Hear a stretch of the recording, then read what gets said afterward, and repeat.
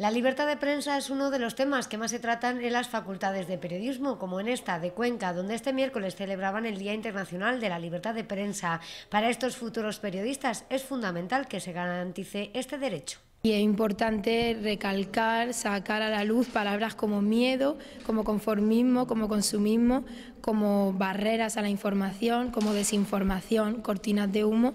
Eh, todo eso hay gente que no lo tiene en cuenta día a día y aquí en la facultad que sí lo tenemos, queremos que venga gente a verlo y a abrir los ojos y a darse cuenta. Nos lo contaban mientras preparaban una exposición de fotos sobre este asunto. Para los estudiantes aún existe mucha censura, algo que no solo ocurre en países en desarrollo. Sí, existe algo como un conjunto de, barreras en la libertad de expresión que no podemos ver solo en los países entre comillas, eh, bueno, en desarrollo, sino también aquí en el propio pues, continente europeo.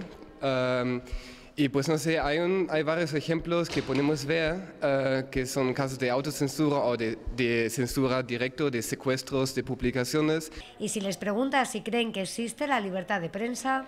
Es muy difícil, es que es un entramado económico, político, es como una telaraña. Entonces, dentro de lo que cabe hay que intentar moverse en esa telaraña, pero sería muy difícil que un medio fuese económicamente independiente de las empresas es difícil.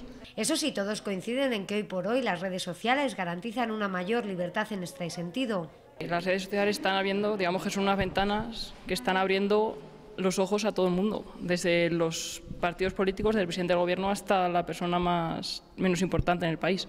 Entonces, digamos que están abriendo los ojos a todo el mundo, viendo que muchas veces lo que nos enseñan desde los medios de comunicación no es como no es verdad.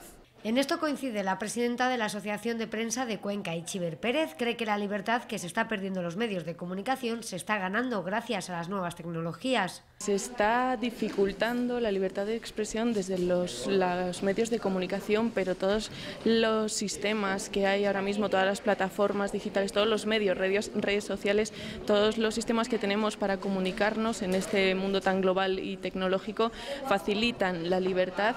Este jueves hay concentraciones con convocadas en todo el país a favor de la libertad de prensa y por la dignidad de los periodistas. La presidenta de la asociación anima a todos los periodistas y también a los ciudadanos a que se sumen a esta reivindicación. Es importante para los profesionales de los medios de comunicación y por otro lado es también importante para los, la sociedad en general porque realmente los ciudadanos tienen derecho a estar informados y tienen que exigir ese derecho a estar informados y a obtener una información pues de calidad y una información veraz. En Cuenca la cita será este jueves a las 8 de la tarde en la Plaza de España de la capital.